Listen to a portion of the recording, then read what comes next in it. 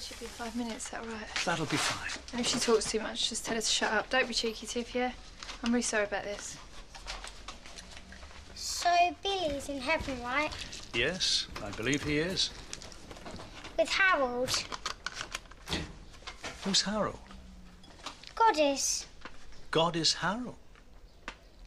I learned in school that Our Father who art in heaven, Harold be thy name.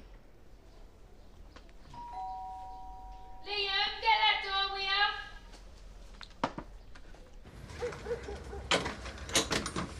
Oh, hi, sweetie. Um, is your mummy in? She's in the bath. What about your dad? He's not in. Who is it, Liam? It's all right. I'm taking care of it. Listen, sweetie. What do you want? Look, the last thing your mum wants to do at a time like this is cooking. She doesn't cook anyway. Okay. Um, if you give her this with my love, it just needs warming up. It's chicken, Montserrat style, with bananas, cinnamon, cream, rum. She doesn't want your chicken and she doesn't want your love, right?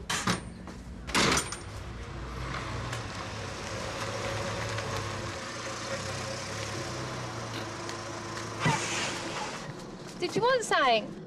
Oh, it's nothing. It's um, doesn't matter. What's that there? Oh, it's just a little something. But Liam said he'd been taken care of. All right, hang on, I'm coming down. You going to help us with this lot or what? Yeah, in a minute.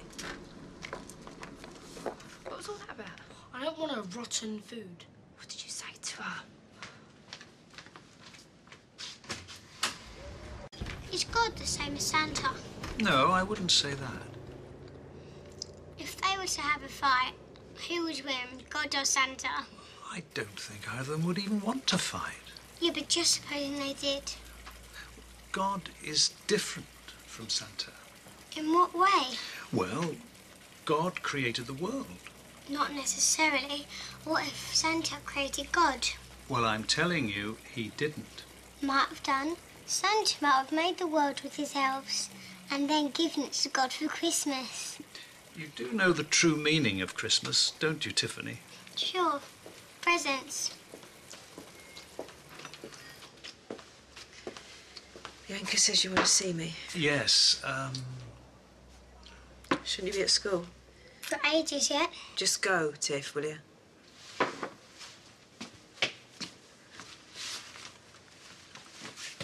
So,